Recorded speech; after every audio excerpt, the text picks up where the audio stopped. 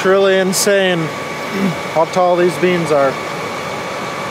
Almost up to my chin.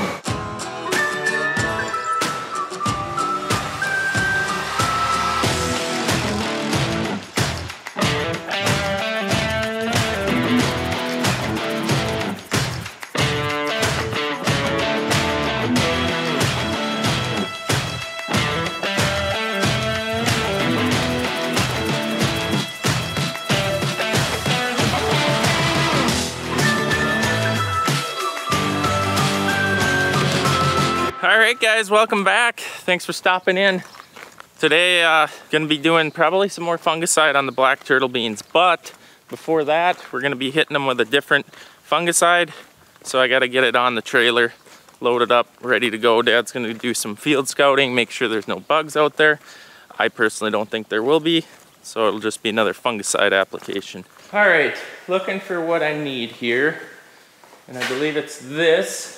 Then I got a left left over from last year, which ain't much. I need 50 gallons. It's gonna be tight. I think the majority of that fungicide is actually at the airport because they've been doing it on the corn.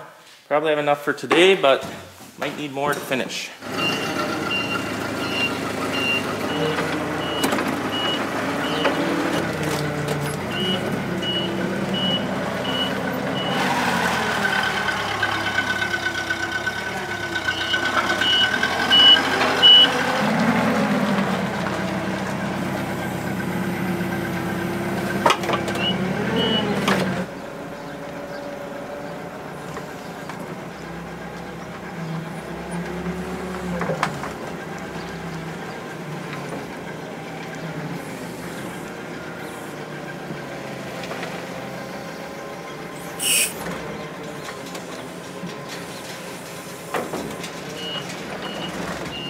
So I got it up here and I calibrated my meter.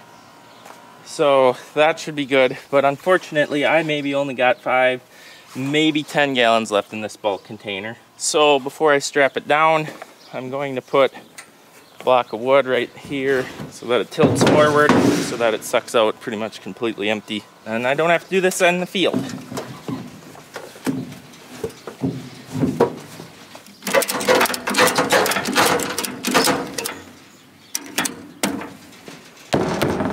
Right, trailer's loaded up. Randy found 15 more gallons of it, so we are good. We're good. We have enough. Maybe field scout to make sure we don't need to put any insecticide in, but like I said before, I don't think that's going to be an issue. And it is already getting really, really humid. That's one thing about this summer. It hasn't been that humid this year, but I don't know. She's going to crank up this week, I guess. Be 90s, hot and dry. Perfect for pollinating, right? All right, I just got to the field. Eric should be shortly behind me. I got my batch mixed up, but I want to walk out here and look at these things. They are still, once again, hands down, looking way better than any of our corn and soybeans. I think that's just due to dry conditions. These things thrive when it's drier. Uh, obviously, corn and soybeans, they need their water. Long story short, these things are looking perfect. All right, I'm off the headlands quite a ways here, trying to get a, you know, a better test sample here to show you guys. I'm gonna pull one up. This is what we're dealing with. Obviously, we got pods developing. We still have uh, a lot of blossoms there. I don't know if every one of those will make a pod, but as you can see right, right there, you can see the little baby ones. I think there's high potential for some big yields out here with that being said, we do need rain also, just not tons of it. But I'm very satisfied with with where they're at right now. It's time to get the this fungicide on them for sure. Keep them healthy and strong. But hopefully, I think about five weeks, we have a high potential of being out here desiccating. Obviously, I don't know what's yet in store, but the calendar will say that, which is hard to believe that it's already start thinking about fall. And right across the road here, hang on, let me pull this out. We don't need him growing. See how big their root gets when they've been wounded by uh. But this is the field that we were double planting or interseeding in, different variety of soybeans. Just came out, check it out, see what we're seeing. Obviously, you can see a major height dip difference there. And then to this direction also, this is where the beans were all yellow and dying. Uh, still some that are not looking too healthy and obviously they're really really short and, and not very good looking at all but here's what it is it's looking better than it was at least maybe now we'll have some decent soybeans in these spots rather than maybe nothing you can see rows going everywhere planted on top of each other these are like solid seeded right here but at least the yellowing is gone. Well, hello everyone. It's been a little while since I've held you, not to make it weird. Going back out to do some fungicide on the black beans. It's uh, two and a half weeks or so since we did the first pass. So, just trying to keep them healthy. But it is, it is stupid hot this week. It's only Monday and it's gonna be bad. So, fortunately, got the AC on, Got the AC seat going. As soon as my back gets sore, I have to turn on the massage seat. Uh, we'll stay comfy in here. I feel bad for Chet, the water boy. He'll be sweating. But at least he's got a nice trailer. Makes loading fast. I feel like I haven't been in here in a long time. There's actually cobwebs growing like off the windshield wiper and stuff. Tractor's been sitting. It almost feels like I'm going out for like the first pass of the spring and you're trying to remember how to run everything. Not quite that bad, but I don't know why. It's two weeks. It ain't that long. But we've been doing a lot of other stuff, so that's the way it works. And we're going to a field nice and close, just in case there's anything broken. Things like to break when uh, the equipment sits still, so we're going to the closest field to the farm that has edibles on it. So if something breaks, the tools are right where we need them. See little water hemp, actually quite big water hemp. It's not good. This is the field I'm spraying. We had some escapees. Dang edibles. Hard to control the weeds. We had guys hire people to walk around and pick weeds or hoe out weeds occasionally in this area and need to hire those people. Can't kill them now. No chemical that we have that uh, is safe to use on the edibles is strong enough to kill that water hemp. So that is going to be there till we combine. The problem is when it heads out to seed, it's going to make millions of other ones for next year. There is a lot of benefit in actually going out and hand removing the weeds. Like the good old days, I, I guess.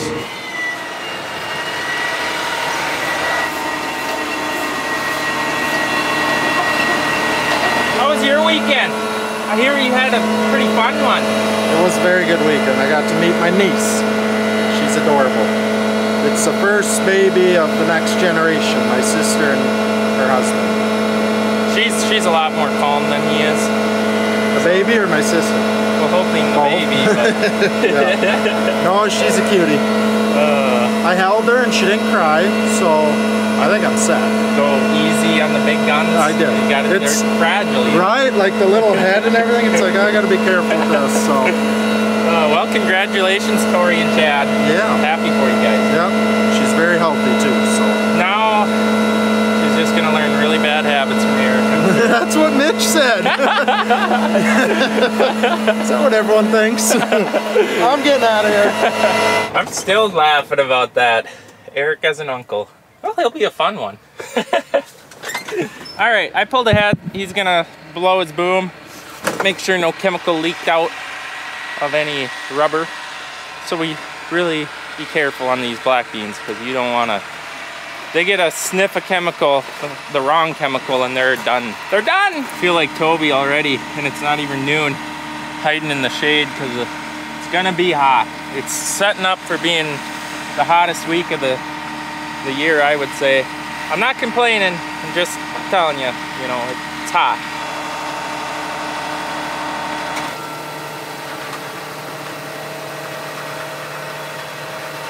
So since it's so warm, I thought I'd mention to you guys these new uh, Brunt Costello pants that we've been trying out here. We have really liked them. They're actually super lightweight on a cooler day. it feels like you got air conditioned pants on. That's what I call them actually, is our air conditioned pants. Anyways, everyone around the farm's got a pair and we've been trying them out and they're by far the ones you grab when it's hot. So if you guys have any interest in picking up some of those, go to the link in the description and uh, click on Brunt Workwear. Check, out, check it out, try it out. I suggest it. We've been very satisfied with them. I'm grounding you after this load. You're grounded. Why? The AC is so nice in. I just called the agronomist. They said not to be spraying fungicide over 85 to 90 because the plant actually starts shutting down and won't accept it. So we're down. We're shutting down. That's All what we right. get for being slow and lazy in the morning. the biggest issue, truthfully, is just getting chemicals, different chemicals on there. It takes oh, I suppose an hour. Depends on how much you got to do. Hour, hour and a half, just to get ready. Friggin' Brody's contraption here. what we should have done was just made this a little bit taller and then we probably wouldn't even have needed that one there. Yeah. Next trailer. So something that we try to practice every time is uh, spraying out the booms um, on the road or in the yard or something uh, when we're going into an edible bean field because the crop just making sure I'm not hitting a power line. The crop is very sensitive to a lot of the chemicals that we use in soybeans and corn. The edibles will die from those chemicals and even though we rinse out and maybe even sprayed a whole day in edibles, when these booms sit overnight, eh, sometimes I've seen it where chemical that's maybe hung up in the rubber, in the lines, or somewhere in there will break free and when you spray the next morning you'll burn the crop for a little ways. So I've got fungicide in here. I'm just gonna spray out a little bit on the road to make sure that when I get to the field it's nothing but fungicide. Well this is gonna be fun. We got some nice beans here. Down around the trees or in the low spots where the wind doesn't really hit the beans as bad they're insane. They're as tall as soybeans. I can't wait to see a combine try to go through them. It's going to be a very slow moving combine because the way it sits right now, we got hopefully some great yields there. The hilltops whatnot, some other spots have definitely, you can see a little bit of drought stress to them. But look at this. You can barely see the rows. They're hitting the, they're at least two steps up on, on the ladder. It's beautiful. As long as nothing bad happens, knock on wood, I'm sure John Deere uses it somewhere in here. This will be fun this fall. We got some healthy, good looking beans here so far. Okay, this is interesting. I don't know if you can see that green line, different shades of green. Two different varieties here. They both look pretty good. Gonna have to check the yield monitor on this because that lighter green that I'm in right now does not exist in that variety and it stops in this variety as I get out of that lower elevation. So very curious what that might be. Up on the hilltop here it's more of the same shade of green. Um, I couldn't really tell driving by if one plant was doing a lot better than the other for variety but uh, maybe I have to do a pod count or something on the plant and see how they're actually doing because definitely a difference in color in the low spot with one variety. And I don't remember which variety is which. I'll have to look at my phone. But visual visual inspection. Can't get out. Gotta spray. It's getting too hot. Uh, we're gonna shut down after this. So just gonna get these acres done as quick as I can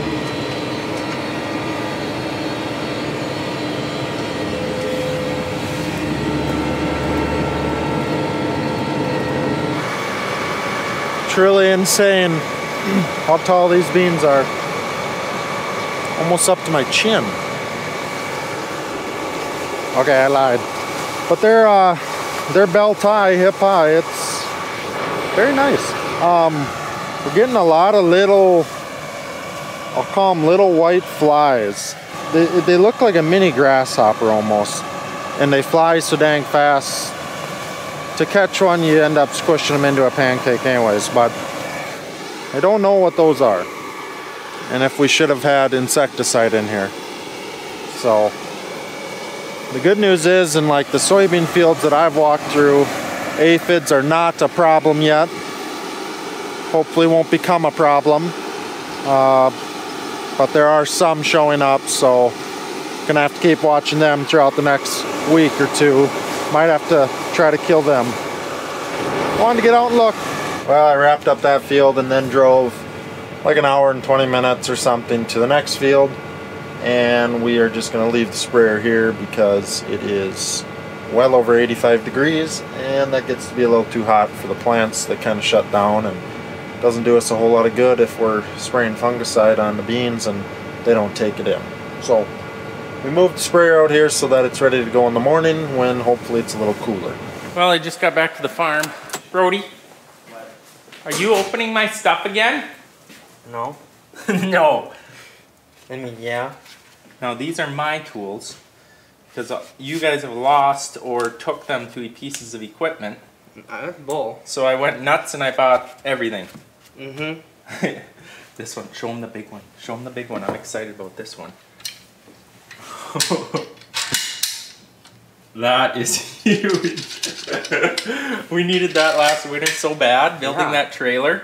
Would have worked really good. So, if anyone touches my Knipex, they might get hurt. I got these from Acme Tool. Um, and I went for the Knipex brand because, well, number one, I love these ones right here. The jaws seems to be the ones that always get grabbed and then taken places and then dropped and lost in, in equipment. You can find Acme Tool on our website. To pick up some Nip- Knipex stuff. Yeah. Because I'm sure all your buddies and dads have lost everything. Hey, did you say those are mine for Christmas? no. Well, thank you. This one here, this one's specially designed for. No, kitty- do kitty- that. Get out What? There seems to be a leak on the pressure washer or something. No, It's a good thing we got this pan here. that's okay. So, we do pretty good on our maintenance on like all of our equipment. Only missed 18 services on this thing. Only missed 18 services on this power washer though. Apparently it needs grease, it needs oil changed, and dad was in getting some washer hose from the guys that sold it to us and they're like, you guys maintaining that thing? We're like, maintain? what do you mean? Yeah, so it's only been six years and the braking oil never got took out of it, so that should be good on it. Yeah, very good. Can tell what grease is. His air got all over the place. And there's me. I don't know, we'll just guess. I guess it takes tractor motor oil, so Hydraulic oil, right? well, as long as there's something in there, I suppose. Okay, now the funnel don't fit in the hole, so I don't know. It might start burping. You almost missed. I did. Oh, oh, oh, it's gonna burp! yeah, it's bubbling out everywhere. What joke. Okay, we're ready again. I'll try to do more steady. Is that a core yet? no, it's perfect! Well, it wasn't a big job, but we should be good for six years again or eight. It looked pretty, pretty ugly. Hey! I'm barely got this by the tips of my very tippy tip tips. Hey! What's the problem here? You're leaking water. Hello! Is this gonna drive? Watch your arm. Another job successfully completed. So this has been kind of our project working on throughout the week when it gets warm in the afternoons and in between other important jobs. And I don't know if you remember us talking about it all last fall, but this one was just pushing. Like the minute it would get dewy, it would just start pushing. You couldn't tilt the feeder house enough back. You guys have seen the video where we lowered or lowered the rear of the combine, raised the rear axle. I just talked to Kibble, wondering if there's any mechanical components that would be different between this one and the other one. He uh, didn't think so. He's going to do some research on it. He did think that lowering the rear of the combine will help. Um, so we'll see. We'll see. We're gonna. We've done what we can do, I guess. He he did mention to me to not recalibrate. He did mention to me to not recalibrate the pitch four and a half of the feeder house because right now it's thinking it's tilted more towards the front of the combine and this will actually allow us to pitch it back more. So let's hope that that helps. It's the best that best advice I can or I've gotten. So uh, hopefully, hopefully you work better. It works fine during the day, but the minute the sun goes down, she starts pushing. Brody doesn't like that very much. He gets kind of cranky. Other than that, I think we're gonna call it a, a day here. Tomorrow we're gonna hit it hard right away in the morning to try to um, beat the heat because this whole week's supposed to be mid 90s. So we're gonna try and get that fungicide on them black beans. Maybe tomorrow, I don't know if we'll get them all done, but we're gonna get a majority of them done tomorrow. Yeah, so early morning, can't wait. We'll see you guys in the next video. Appreciate you watching. See ya.